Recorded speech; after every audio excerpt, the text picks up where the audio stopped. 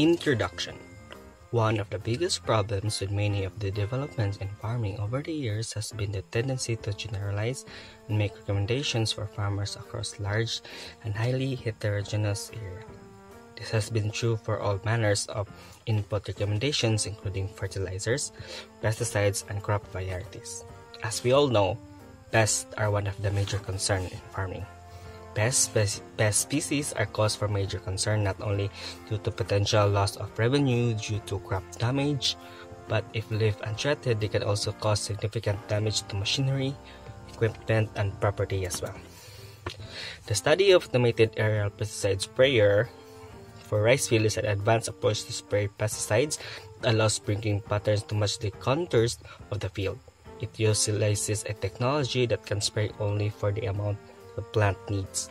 Consequently, this system helps farmers save water, money, and convenience and time, and ultimately benefits the environment by reducing countless gallons of pesticide wasted every year when the farmer sprays the field.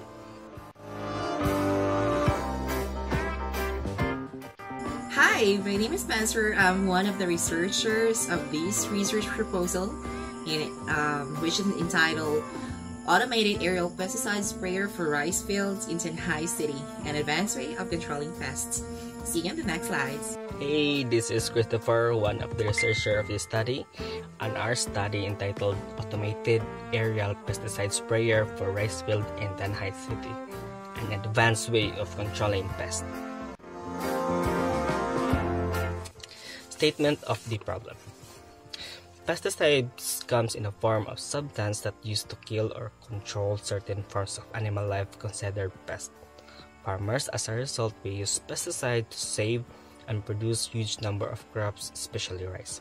But they are doing it in a traditional way or the old way, like going near the crops and spray, which might harm them since they are near the chemicals.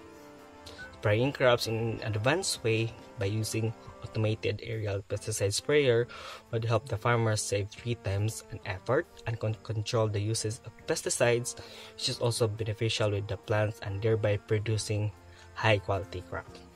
Particularly, the study aims to answer the following questions. First, do the rice field farmers have the right technological skills to utilize this technology? Are they able to interpret the data they have gathered? Second is the use of automated aerial pesticide sprayer can be beneficial to farming. Will it be worthy of investment in the future? Third, can the use of automated aerial pesticide sprayer improve the agri agricultural practices in the city of Tanjay? Fourth, how how has the use of automated aerial pesticide sprayer adapt to a certain climate? Lastly, can this automated aerial pesticide sprayer can spray the insects that may have hidden in the rice fields.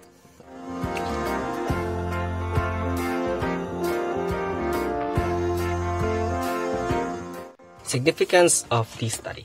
The result of this study will be beneficial to agricul agricultural sector in the city, specifically in the rice fields. This study is significant because it can greatly help their rice production in Tanjay City, where they only use the traditional system in breeding of pests that is inefficient and can affect the health of the farmers.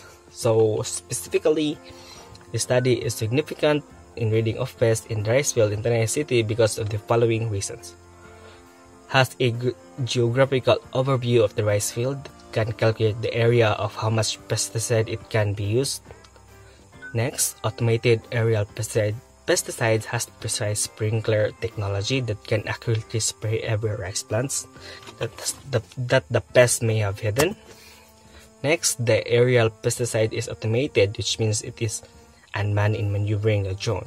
It is programmed to determine the scale of the rice field and only need at least one person to operate.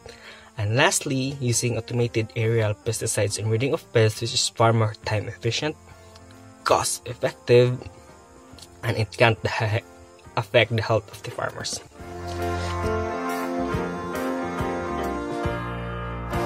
So, scope and limitation of the study. Most of the farmers in Tanjay City are working in a rice field which is use the traditional spraying of pesticides. These farmers take large amount of time to spray their, the crops and do, do not un- uniformly spray the pesticides. But by using the agri- agricultural pesticide sprayer, our product, these farmers can complete the spraying work in less than amount of time as compared to its traditional way with a uniform amount of spray to the plants. Definition of terms. In order to have a common understanding words in this particular research, the following terms are defined as follows. Agriculture.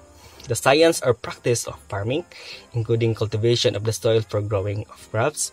The Atmega 328. In this case, the system will use BLDC motors which are multi-phased, normally three phases, so direct supply of DC power will not turn on the motor on. The Atmega 644PA is a powerful 8-bit microcontroller that offers excellent flexibility and cost-effective solution to wide range of embedded control applications. The ESC controller, The electronic speed controller, is an electronic circuit which is used to control speed of servo motor, its directions, and possibly also to act as a dynamic brake.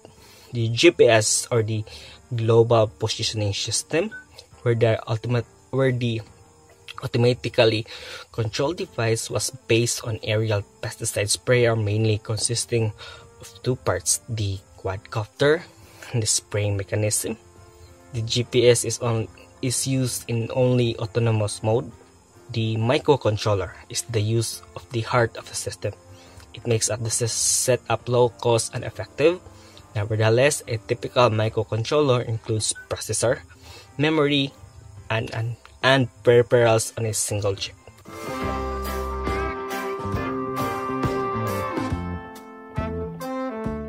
Theoretical framework of the study. The earliest unmanned aerial vehicle in history was first reported in 1839. An Austria, Austrian soldier attacked the city of Venice with unmanned balloons that was filled with explosive. It is important to point out that the use of these vehicles in earliest form was for military purposes like Pangera. So the aerial technology greatly improved during the World War II and even the Cold War. It is alleged it is used for surveillance purposes, in particular taking aerial photographs of military bases by the use of former USSR intelligence.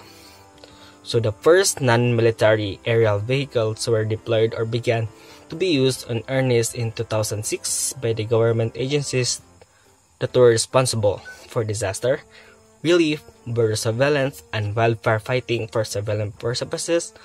Also, the corporation began to use drones to inspect pipelines and spray pesticides in the farm.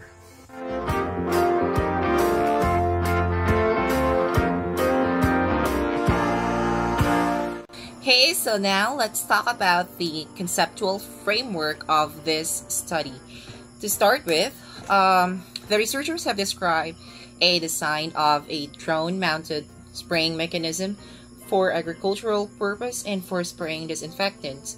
This method of spraying pesticides on agricultural fields reduces the numbers or the number of labors, time, costs, and the risk involved to the personnel involved in spraying the liquids. This system can also be used in spraying disinfectant liquids over buildings, water bodies, and highly populated areas if possible. Well, um, the major result for having this kind of system will help the farmers from Tanjay City to have an efficient way of spraying pesticides. Um, of course, to the rice field. Um, this system can be particularly useful in spot spraying situations over a massive landscape. Um, with the use of automatic aerial pesticide sprayers, the poisoning of people who spray will be drastically reduced.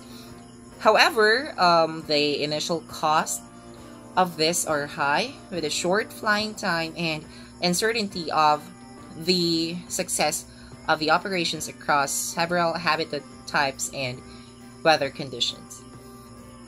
And also, we have a study according to Rahul Desali and Company, the automated aerial pesticide sprayer is the efficient and um, robust for the described application of spraying. It can fly as much time as calculated and as per the specifications of the components. This drone is not only for the spraying, but also can be used for monitoring the fields by attaching the cameras.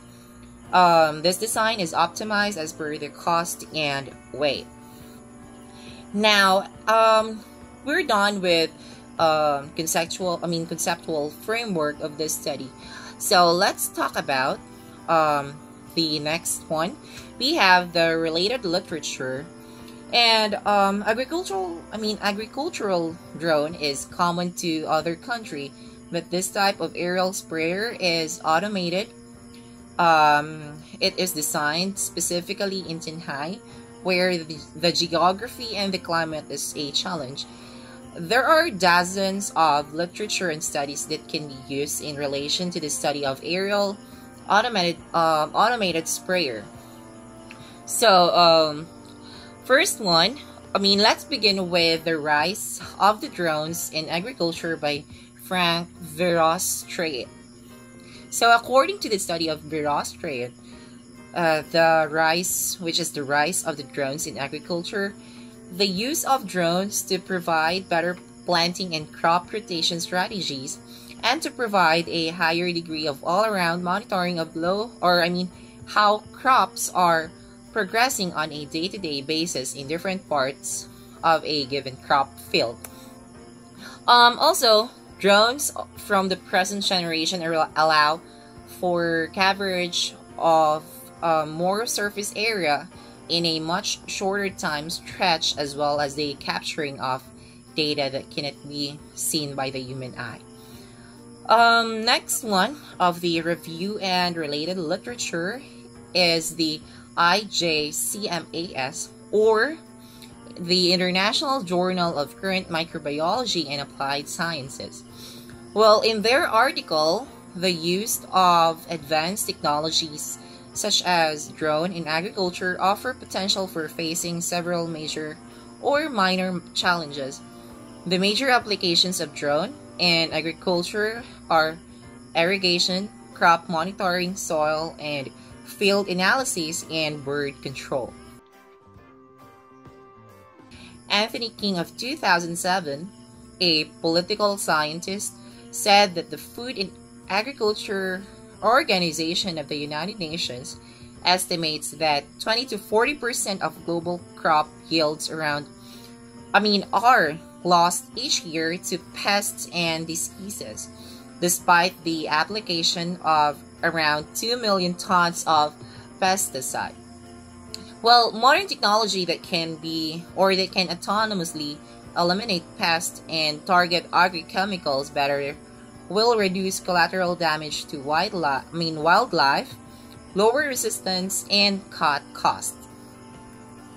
And finally, for our review and relate of related literature, another study from Rao Mogili um, in a review and application of drone systems of, I mean, drone systems from Mogili of 2018, there are too many developments in precision agriculture for increasing the crop productivity, um, especially in the developing countries like India. Over 70% of the um, rural people depends upon the agriculture field. So uh, it also stated here that the World Health Organization estimated as 1 million cases of ill affected when spraying the pesticides in the crop field manually. So the unmanned aerial vehicle or drone aircrafts are used to spray pesticides to avoid the health problems of um, humans when they spray manually these can be used easily where the equipment and labor's difficulty to operate. Now, let's talk about the research methodologies. The microcontroller performs the um, needed actions by employing relays until the strayed out parameter has been brought back to its optimum level. Since a microcontroller is used as the heart of the system, it makes the setup low cost and effective. So that's how the uh, microcontroller works for this system. Then um, starting the methods with the first figure, um, which is the flowchart of the research design. Um, firstly, as you can see here, the design will make use of the different resources to plan, model, and um, visualize the automated aerial pesticide sprayer. Then followed by measuring the individual components that will be used for this system. And um, uh, followed by properly designing the system using the different components. Now, if the design will work, then um, we have a question here. Can it be or can it work to the rice field in Tanjay City? Well, if the answer is yes, then it is successful and can be assembled. But if no, um, we had to check the design and, I mean, again, to see if what are the errors until the design can be perfectly employed to the specific location. And um, now let's proceed with figure 2. So figure 2 shows block diagram of automated aerial pesticide sprayer with GPS. So the automated aerial pesticide sprayer comes with different components as you can see in the figure. Um, the controller which has the GPS, stability, altitude, and water speed control. Then the spray mechanism, um, spray, spray control of spraying, tank status, and pump on and off. Let's now talk about the, the components of this system. So how is the Atmega 328 used? Now, when we say BLDC, so why uh, why we will use BLDC? Um, BLDC is an improved way or is an improved direct current motor developed by removing the brushes from a brush DC uh, motor to eliminate shortcomings such as brush wear and electrical noise. It has also features or it has uh, best features or B BLDC has best features such as maintenance-free, compact, um, high motor efficiency, and high heat dissipation capability, which is very effective to this system. Next, we have to use Atmega 644A. Why should we use that one? The automated aerial pesticide sprayer was designed by making use of microcontroller Atmega 644PA well, um, another component used in this system is the lithium polymer battery. So, um, lithium polymer batteries are generally safer and more environmentally friendly than other batteries. Lithium polymer batteries have got, uh, have become the most common high performance remote control battery and are used in RC cars, um, boats, helis, planes, and uh, multi rotors, and more. And um, finally, the use of ESC controller to the system. And when we say servo, um, servo motor, it is a rotary actuator or linear actuator that allows for precise control of angular or linear position, velocity, and acceleration. ESC allows much smoother and more precise variation of motor speed in a far more efficient manner than the mechanical type with a resistive coil and moving arm once in common use. Now, um, those are the different uh, components uh, that will be used or these this is a design and the component that will be used for this system. Now, um, to sum it up, this automated aerial pesticide sprayer will save the time of spraying pesticides and also it will reduce the diseases caused by fertilizer to the uh, human body such as skin diseases as per the research of the World Health Organization or the WHO. Hence, drone will minimize the efforts of farmers for agricultural for agricultural I mean agricultural purpose in Tanjay City.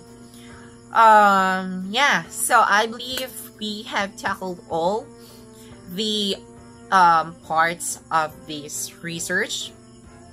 So uh, I hope you enjoy our presentation and yeah, uh, see you and have a wonderful day. Thanks for watching. Bye bye.